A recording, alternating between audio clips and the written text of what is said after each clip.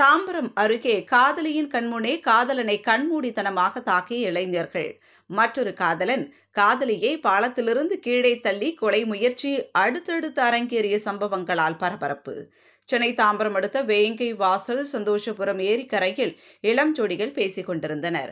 அப்பொழுது இளம் பெண்ணுக்கு தெரிந்த இளைஞர்கள் மூன்று பேர் அங்கு இருசக்கர வாகனத்தில் வந்து இளம் பெண்ணுடன் பேசிக் கொண்டிருந்த இளைஞரை கண்மூடித்தனமாக தாக்கினர். காதலனை காதலி கண்முன்னே தாக்கிய இளைஞர்கள் சிறிது நேரத்தில் அங்கிருந்து கிளம்பி சென்றனர். பின்னர் காதலனின் செல்போன் கீழே விழுந்திருந்ததை பார்த்த காதலி அந்த செல்போனை எடுத்து சென்று காதலனிடம் கொடுத்து அவருக்கு ஆறுதல் கூறும் வகையில் பாலத்தின் மேலே சென்றபோது காதலிக்கு தெரிந்த தெரிந்தவர்கள் காதலனை கண்மூடித்தனமாக தாக்கியதால் ஆத்திரமடைந்த காதலன் காதலியின் கன்னத்தில் பலார் பலார் என்று வெளுத்து வாங்கினார். இதேபோல் மற்றொரு காதல் ஜோடி அந்த பகுதிக்கு வந்து பேசிக் கொண்டிருந்த நிலையில் திடீரென காதலியை பாலத்தின் மீதிருந்து கீழே தள்ளி கொலை முயற்சியில் ஈடுபட்ட காட்சியை அங்கிருந்த நபர் ஒருவர் அவரது செல்போனில் பதிவு செய்துள்ளார். வேங்கை வாசல் சந்தோஷபுரம் பாலம் தண்ணீரை கடக்க கட்டப்பட்டதா? இல்லை.